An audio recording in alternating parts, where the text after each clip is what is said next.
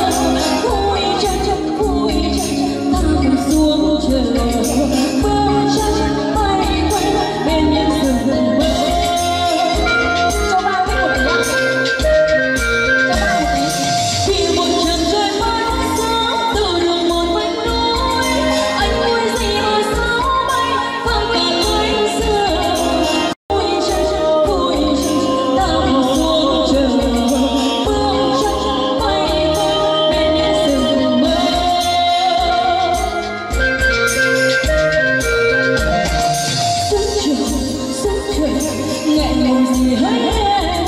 sức chờ xuống chờ xuống chờ thôi